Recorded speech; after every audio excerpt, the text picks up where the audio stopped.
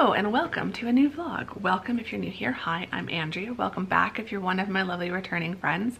It's great to have you all here. It is a very gray, dreary, beautiful Monday morning outside. The rain that came in yesterday, Easter Sunday, is continuing. So it's the Monday after Easter. I'm still here at my parents' house. I'm heading home in probably about 30 minutes it's Monday after a holiday weekend. I'm tired. I can't think straight. but it's all good. It is April 1st.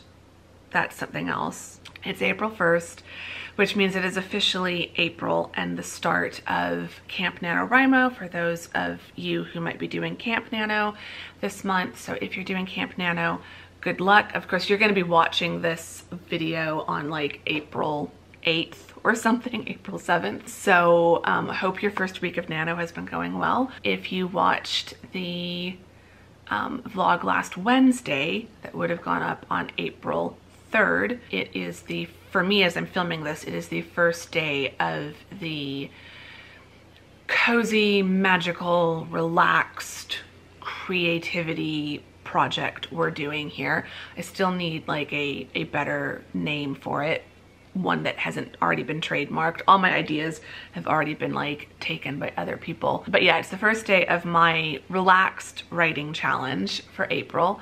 Um, or for me, it's gonna be an editing challenge. So it's the creativity challenge that we're doing on this channel this month. So I hope some of you, after seeing that last video, have decided to join me this month. Um, so you can leave your updates on your project in the comments below.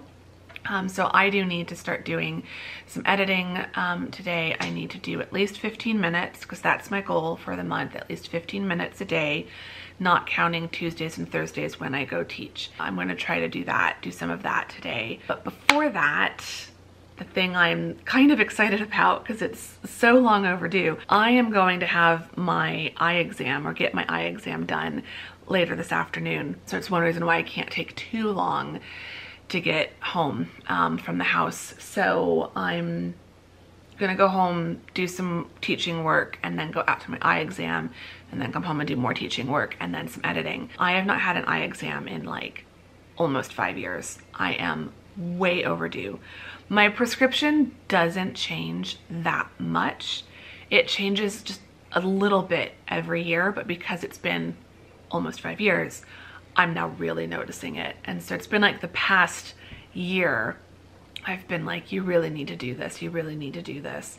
And then this year it was like one of my goals for the year is you have to get it done, preferably like in the first quarter. It's now April 1st, so quarter one is technically done, but close enough. So it was on my list for February. I didn't get it done in February. And then by the end of March, I had at least made the appointment. And here on April 1st, I'm going to get it done.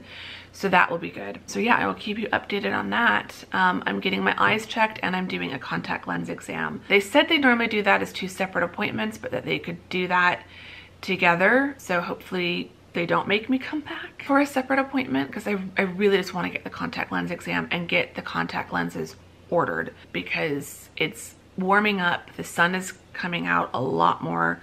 I mean, it's been sunny all winter, but like the sun just gets more intense and I would like to be able to wear my non-prescription sunglasses when I'm like out running errands and stuff. It's just nice to be able to push my sunglasses to the top of my head and not have to actually switch out pairs of glasses.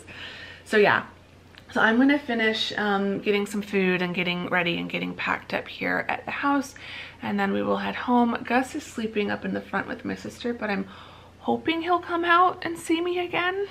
I saw him really briefly when I first woke up and then he disappeared to go snuggle with his mommy again. So hopefully I can see Gus. But yeah, I will show you what I do here at the house. I'll show you Gus if he does come out. Um, but I'm not really doing a whole lot and I'm not wearing any makeup because I don't want to be wearing mascara if I've got my brows a little bit, but I didn't want mascara on if I'm going to be putting contacts in. So yeah, anyway, I'm gonna stop talking. I'm gonna go get some food and in a little bit we will head home and get back to teaching work.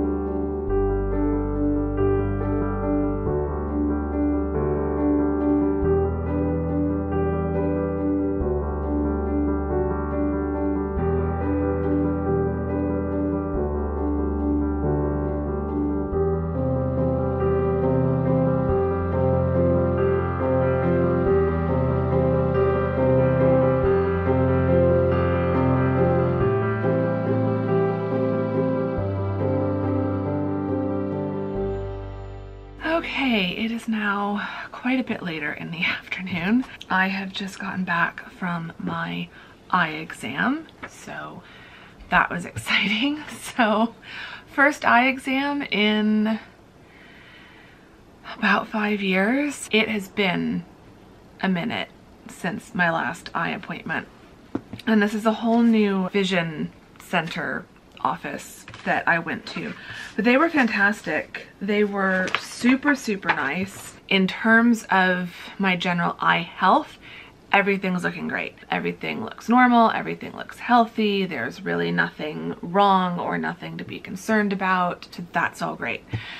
Which makes me feel very good because I it had been so long and at the last appointment that I went to in 2019 I don't think they dilated my eyes so I don't think that was even like a full full checkup so it's probably been six or seven years since they've like really properly looked at my eyes. So I went into this one knowing I was probably gonna have to do some sort of eye dilation hassle.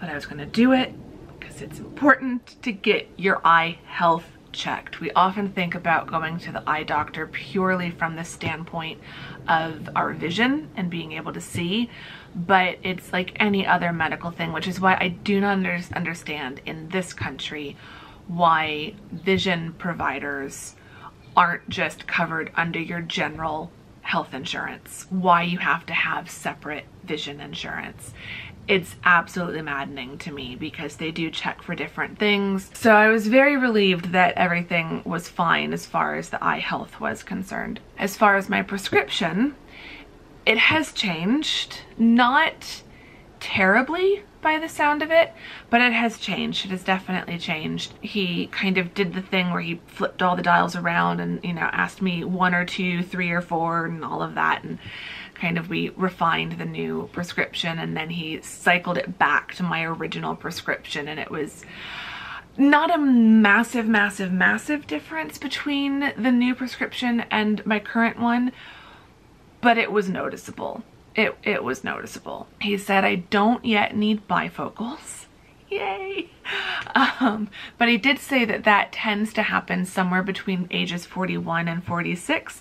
So at 43, I'm right in the middle. He said that I kind of had two options. We could he, as he phrased it, dumb down my new prescription to kind of balance out the dis the difference between distance vision and close-up vision or he could just do my new prescription, which would be slightly better for distance vision, and that my current glasses might end up being a little bit better for doing close-up reading work or like computer work. I have four really cute pairs of glasses that I've bought from Zenni over the last few years. Not sponsored by Zenni. So I don't, it's kind of nice to be able to still use those. So yeah, so I don't mind that and I will be able to get contacts. That was, so I, I knew I'd be able to get contacts, but there was some really positive changes on the contact lens side of things. With the contacts, the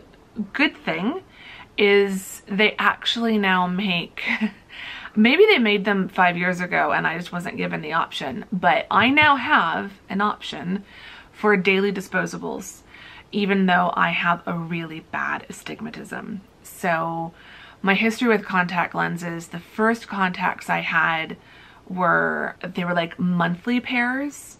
So I had to have regular solution for part of the time, but then like every week I had to put them in like a special cleaning solution.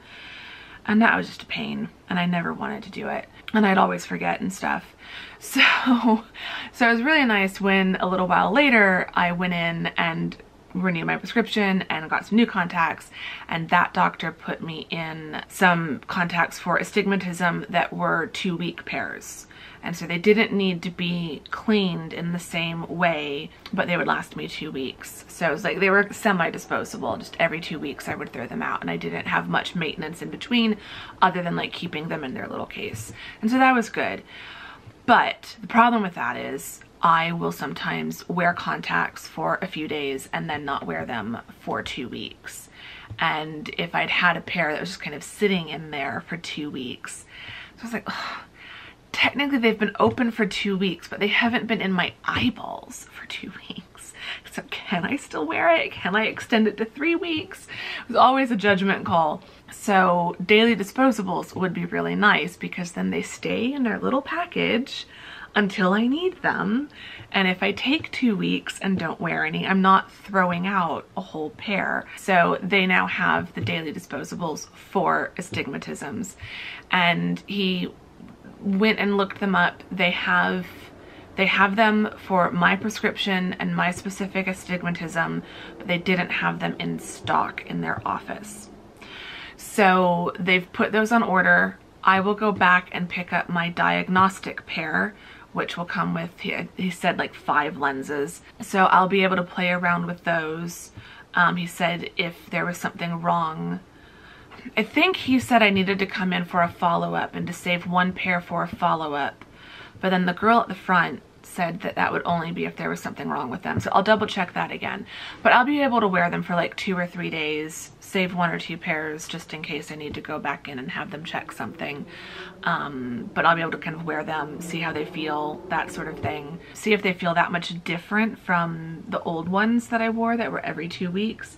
But he said that if I'm, I told him I really only wear contact lenses. Like back when I was wearing them regularly, I was still only wearing them three to four times a week. So only about half the time. Because if I was just working from home and not vlogging and, you know, not running errands where I'd want to have my non-prescription sunglasses, then there really wasn't a need to put on contacts. Whereas if I was going out to work or doing nice eye makeup or running errands where I'm going to constantly be taking sunglasses and regular glasses off and just want to have sunglasses that I can just push to the top of my head, then that would be a contact lens day. So he said at that point, the daily disposables would end up being cheaper because I could just get like a 90 day supply. And if I'm only wearing them every, you know, if I'm only wearing them three or four times a week, then the 90 day supply would probably last me closer to like five or six months. So I'm really glad I have that option now. That's going to be really nice. So the girl who was helping me today and like checking me in and then checking me out, she said that it would probably take about seven days, three to five business days.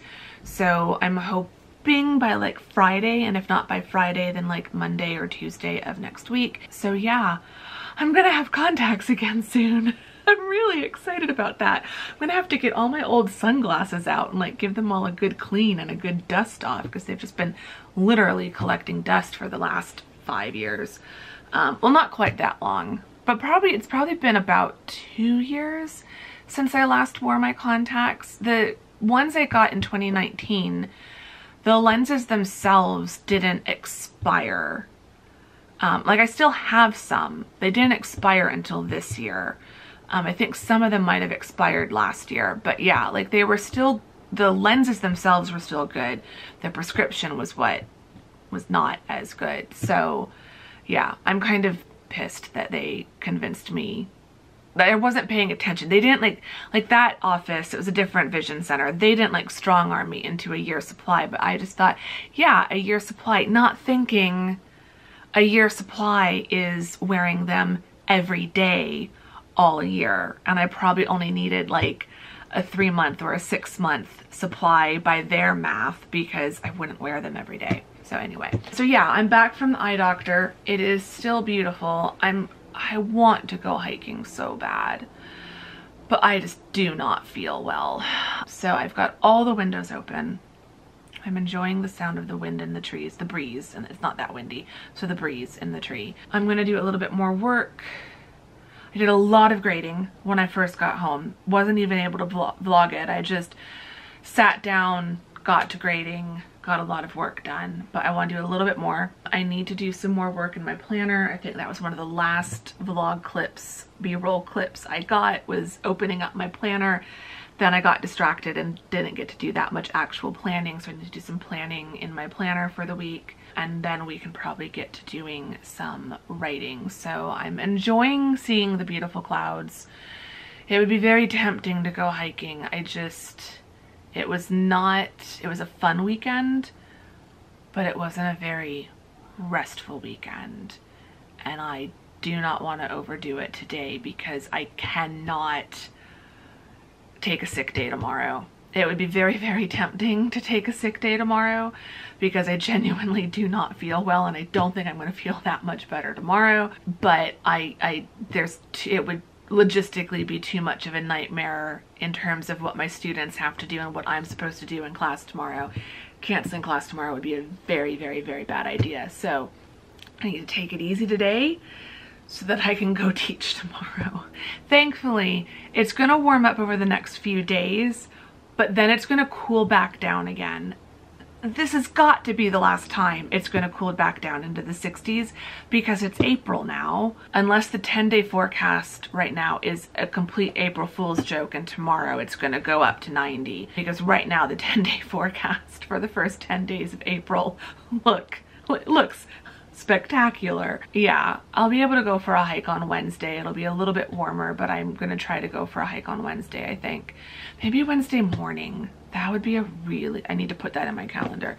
That would be a good idea. So yeah, I'm not gonna go hiking today, but we're gonna still enjoy the beautiful weather through the open windows.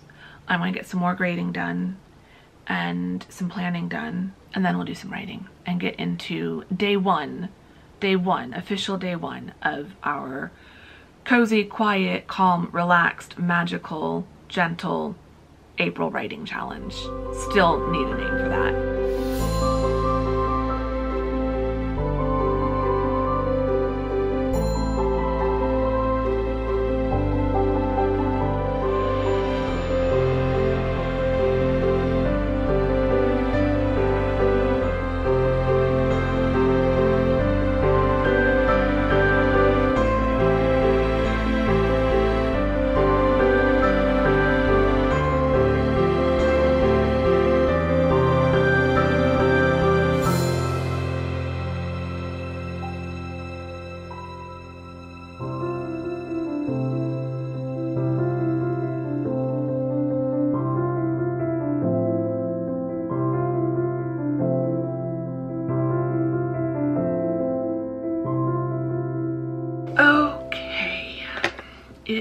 Is 5.02. I am done with teaching work for today.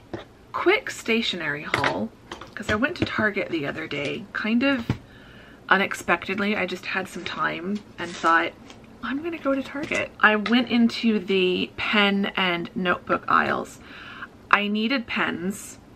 I did not need notebooks, but I couldn't help myself. I got this two pack of zebra pens. They're like nice white, like just everything about the pen is white, but they're a nice black ink and they're a gel 0.7 millimeter black ink. So they write nice a nice fine black line with my beautiful, beautiful pink floral planner. I haven't really been liking having like just a black pen. Like it's not a good look. The planner is pink with bits of white and gold spiral. So like black just isn't matching the aesthetic. And I have some beautiful like rose gold and gold pens, um, but they're all ballpoint which I do like a good ballpoint pen, but sometimes you just like gel. Like sometimes the gel just writes easier. So I was wanting some gel pens that would look nice with my planner, preferably that had like a clippy thing that I could slide and like have it clip within the spiral. So I saw these zebra ones. So they're just little clicky pens, but they are completely white and are the aesthetic I want. The other um, pens I got were one of the like it's like an eco brand. I feel like i tore the packaging apart but they're just the u eco brand or something like that. But they're pastel sparkle gel ink pens and again full black gel ink medium 0.7 millimeter. I just liked the pastel color. So there's a blue a green a white and a pink.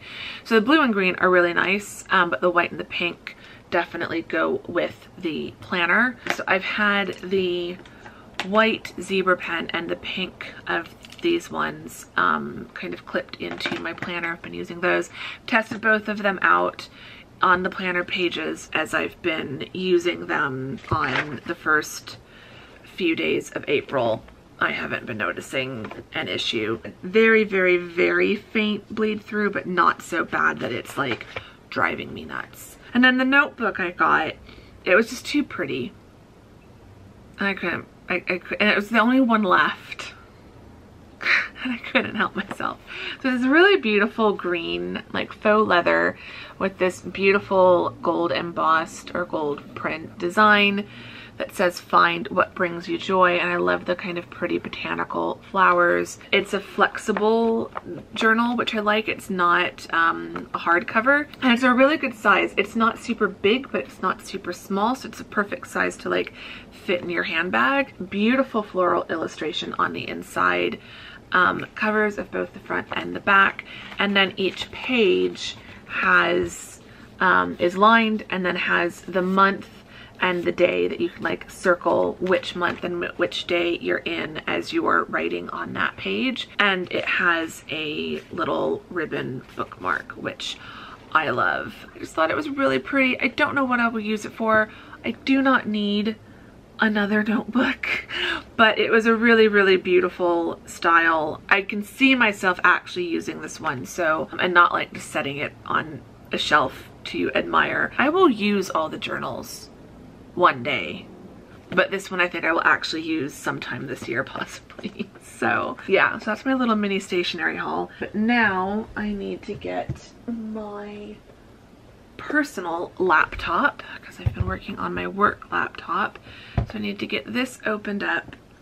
I need to get my project notebook out, which also has my April Creativity Challenge tracker page. Get this tracker page open again. We're gonna do at least 15 minutes. I don't really feel like doing anything today. I will not lie. I, I really don't, I don't know what I'm going to do as far as editing work. I think I'm just going to try for 15 minutes. I just I feel like I'm very tired and I have no motivation and there's all I'm really down to are things that just feel like much bigger notes, like much bigger edits. And so that's just a little bit daunting. So I don't know. Like part of me just wants to start working on the next project. Like there, I'm definitely at that point in editing where I'm tired of working on the project and I'm just kind of ready to start working on the next project. And like I could work on Project Darkness today, but I, like this Across the Pond 4 needs to be the priority. This needs to be what I work on, not not another project. I kind of talked about this a little bit in the last writing vlog that I'm kind of at a point where I'm getting a little bit overwhelmed by the few notes that are left because it just feels like it's going to require a lot. And it's probably not going to need as much like rewriting or inserting new things as I think it will because I've probably already addressed these notes in more subtle ways more than I think I have. So part of it is I am at a point where I probably need to just read it again, but I want to do that when my beta readers are reading it and I'm not yet ready. I'm not yet ready to send it to betas. So I'm not to overthink it. I'm just to read through my notes and there's a few places where I've mentioned specific scenes where I think I could start putting some of this information. I really do feel like it's just going to be a matter of adding a line of dialogue here, a line of dialogue there, just like little references. So yeah, we'll talk more about this in a minute. Let me start actually doing some editing. Let me try to do my 15 minutes. I might try to do 30, but I'm also really tired of sitting at this table or at this desk. I'm still loving the desk. Do not mistake me but my back is feeling really sore and I just, I do kind of want to just get back on the couch. Although the clouds have been gorgeous. So it's kind of nice sitting here and being able to see the clouds because I can't really see the clouds from the couch. So I'm going to try for 15 minutes, see if I can do 30. We'll just see how much editing I can actually get done.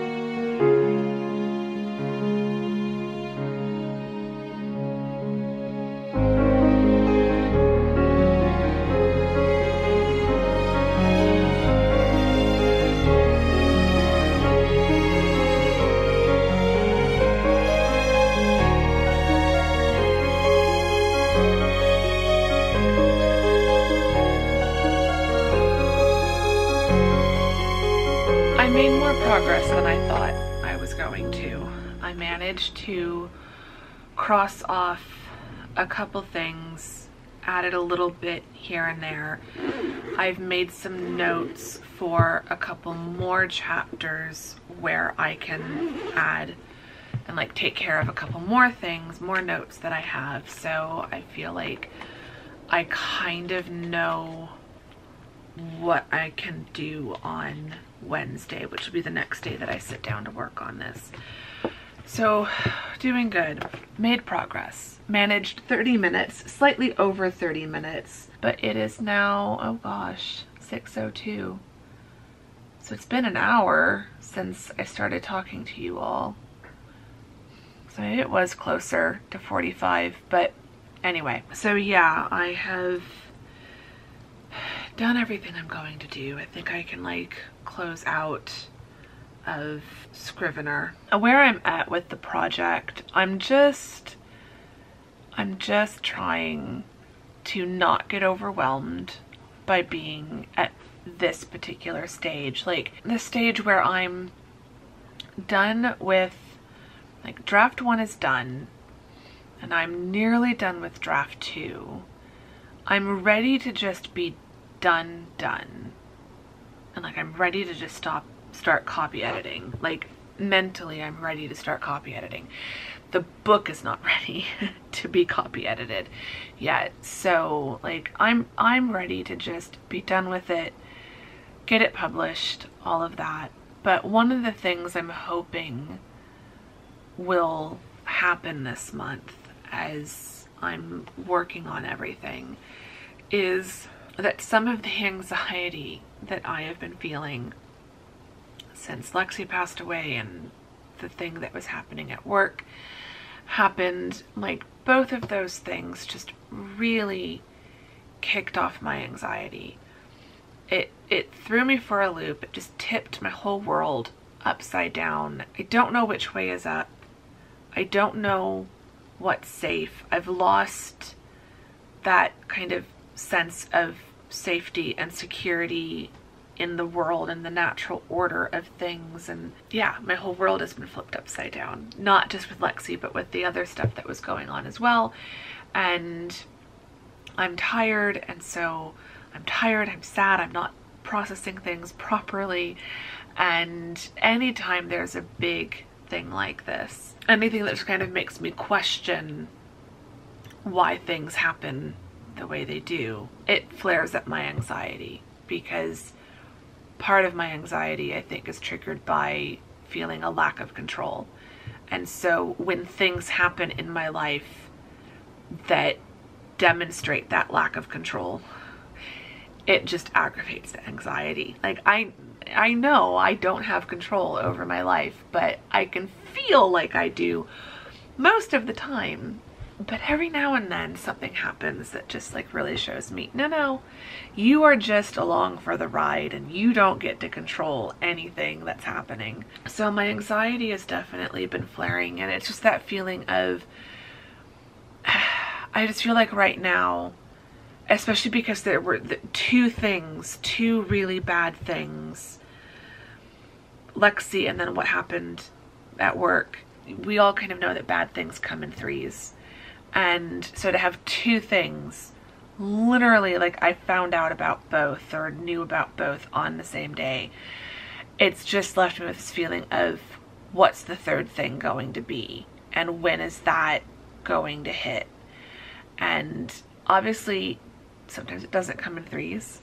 And there could be something that I'm blanking out that happened first, and then Lexi and the news from work were the second and third thing, but it's still that feeling of when you have multiple negative things happen in a short span of time, it it does make at least for me you can let me know if you feel the same way but for me it, it, part of the reason the anxiety gets heightened is it i have that feeling of bad things are happening so what's the next bad thing bad thing that's going to happen? And so i just feel like i'm really tense and just waiting for the next bad thing to happen. And with the book, like part of me, like, and this is nowhere near the same thing, but it's just anxiety in all aspects of my life flares up. So, like, there are certain things coming up that I'm now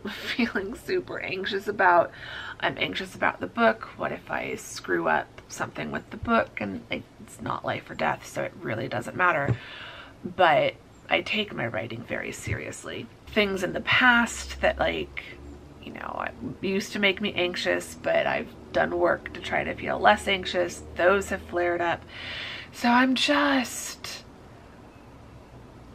my brain is not a fun place to be. And when it comes to writing and editing, I'm second guessing everything. I'm doubting everything. You know, am I making the edits in the right way? Am I doing a good enough job with these edits? Am I missing something really important? And like at this stage, I know I'm still going to do my own kind of beta read through. I'm to I can still do a draft three. That will probably be really short edits, really fast edits. But like this editing pass is not the last time I can go in and make bigger structural and developmental type edits. But then I'm still going to be doing a copy edit and formatting and a final proofread. So like I can still be changing things even in a month, even when I'm copy editing or proofreading. Obviously, when I'm copy editing and proofreading, I'm trying to do fewer changes, but technically I could still be editing things. I don't know, I feel like being an indie author, there's just so much room for anxiety because I don't have other people doing any of these steps for me. And I don't have a publisher who takes on at least some responsibility for checking things. So yeah, the anxiety is just, it's not just bad overall. It, there is like increasing anxiety just within my work as a writer and author. And so that's part of why I know I want a really gentle and relaxed, joyful, joy focused, you know, approach to writing and editing this month because I'm already so anxious if I try to do a higher pressure writing challenge. If I tried to say you have to have developmental editing done by April 15th and copy editing done by April 30th I, I I would break. That would break me. There's no way I could do something more ambitious and you know pressurized. And I feel like in a previous year the goal for something. Like I would have been wanting to do something like Camp Nano and the goal would have been to like really go hard and go full on with it and try to do a lot. And I just know that is the absolute worst thing I could do for myself right now because I already feel I already feel so fragile. I don't have the bandwidth, I don't have the capacity for hardly anything this month. But as I said in the kind of intro to this whole writing challenge two vlogs ago, I don't want to just take the whole month off. I don't feel like that's the answer either. I feel like that would just cause a lot of stress for me in the long run. So it's felt good today. I really, I, I can't say that I was full of joy today while I was writing, but I, I did do a pretty good job of keeping the stressful and anxious thoughts down. It wasn't, you've got to get X number of notes crossed off the editing task list in 15 minutes. It was just, you're working for 15 minutes. See how much you can do. Do something. Anything even if it's really, really tiny. And then the timer went off at 15 minutes and I felt like I could do a little bit more. So I hit repeat on the timer get another 15 minutes going. And by the time that was done, I could tell I, I was done. I, I didn't have anything else. It's now 6.15. I'm gonna go sit and relax and just kind of enjoy a cozy quiet night. So I will show you what I get up to for the next couple of hours and I'm gonna go try and not think about all the anxious thoughts running through my head right now. But yeah, I feel good about how much work I got done. I, I, I sat down, it's day one of this no stress challenge. Challenge isn't even the right word. I need I need to think of a different word. It's not a challenge. But project, like monthly writing project doesn't sound right either. Like what's what's the antonym for challenge. That's what I'm trying to think of. That's part of what this needs to be named. It's not a writing challenge. It's kind of, I guess, like a, a writing retreat in a way. But I don't know if that's the right word either. So I'm going to keep thinking about that. Or just not thinking at all. That would probably be even better. I'm just going to go not think for the next couple hours. And I will check with you all in a little while.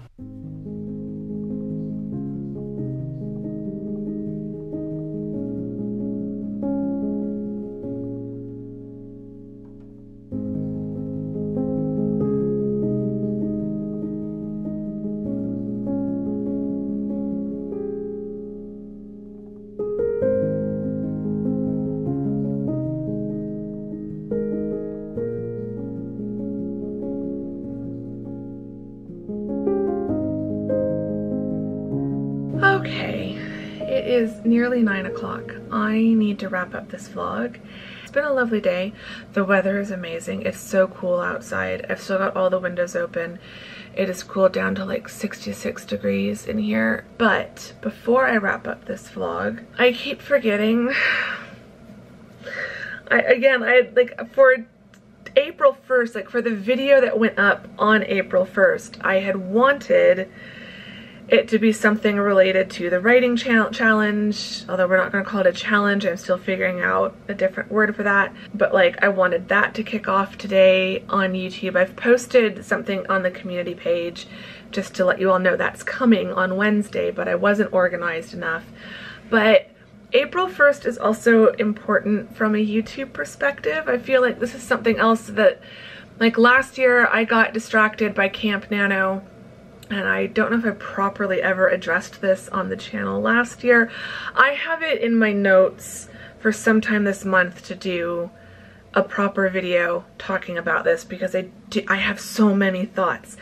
But today, as I'm filming this, April 1st, it is officially eight years that I have been doing YouTube. So eight years ago today, on April 1st, 2016, I published my very first YouTube video. It's still on this channel. Let me know if you've watched it. It's still there in all its awkward glory. I look like a deer in headlights. I was scared out of my mind. I just, I had all the visions of the, the big YouTubers that I had been watching and that kind of inspired me to finally start my channel. And I just felt like not them. Like I was not them. Um, that, you know, if I tried to compare myself to them, there was no comparison. I had, like if that was the standard of YouTube, I had no business doing this. But I just, I just had a feeling that I needed to do YouTube. I needed to give it a try. I needed to see what it was like. I don't think 2016 Andrea thought that eight years later I would still be doing this. Day one Andrea, subscriber zero Andrea, she didn't think she'd get even 10 subscribers, let alone a 100 or a 1,000 or as of filming this, I think we're at 4,296 or 97. I would rather have only the 4,000 plus of you who are watching and who are so lovely and so supportive and let me do the content I want to do and love to do. Like I would rather have you all than have a million subscribers who don't care about me, aren't invested in my content, treat me like I'm just there for their entertainment. Like, I wouldn't want that. And I look at people who have, you know, 50,000, 100,000. I look at people whose channels grow really, really fast, who never really had to kind of go years in between 1,000 subscribers and 2,000 subscribers. Like I've, I've seen people and I've heard people talk about how much it is to process when you go from like 5,000 subscribers to 50,000 in just a few months because of like a viral video or something. And I think when you're still starting out, that rapid ascent sounds like the dream, but in practical reality, it I think it would be very, very overwhelming. And so I think if I had gone from zero subscribers to 4,000 subscribers in my first few months or even in my first year, I think I would feel the pressure to keep growing. And I think that when I hit the first, when I would have hit that first plateau, I would have taken that really personally. And now, like, somewhere between December and now, um, or somewhere around December, around the end of Vlogmas, my analytics just kind of flatlined. There was no growth. There was even some backsliding. And I think if that had happened earlier, and I've seen new YouTubers in small YouTube groups kind of freak out about this, like, I had someone unsubscribe, you know, should I change my content because one person unsubscribed? And I get that instinct but it's like people are going to unsubscribe. People are going to stop subscribing in general. People are going to stop watching. Sometimes they stop watching for a few weeks or a few months and then they come back. Some people just stop watching completely. That is the life of being on YouTube. And anyone who's done YouTube for this long knows that. And it's something you just have to learn to deal with. There have been so many lessons learned in the past eight years. And I think eight years ago, I would have hoped for certain milestones and hoped that I could grow. Although eight years ago, I really didn't think I, I, eight years ago, it would have never occurred to me that I would have even a thousand subscribers felt just ridiculous. And now, now there's over 4,000 of you and you're lovely and you're amazing and you're so supportive And, you know, even though we don't know each other personally, I feel like you genuinely care about me and I genuinely care about all of you. You know, you, some of you have been sharing some really difficult stories in the comments um, in regards to sharing your experience with pet loss. And it has honestly made such a difference in helping me feel so much less alone and how sad I feel and how much I'm struggling with Lexi's death. I just feel like we don't share these stories without caring about each other at least a little bit. Like as much as you can when it's someone you only know on the internet through a screen. But yeah I just you will continue to exceed my wildest dreams for this platform. And if I have any wish for the next eight years is that I just continue making the content I love and that that content naturally and organically attracts more amazing people like the 4,000 plus of you who are here now. Like, I don't care if this channel grows fast or slow. I don't care if it completely stops gaining new subscribers or if some people unsubscribe. As long as the people who stick around are the ones who are, you know, watching and, and caring about the content and engaging in the community that, that I've very slowly and like unintentionally in the beginning. It wasn't the intention to grow a community, but that's really what what we've been doing and that is something that I do think about a bit more intentionally now. So yeah, I do want to talk more about this in its own video because I have a lot of thoughts after eight years on YouTube. We're getting so close to 10 years, like as fast as the last four years have gone.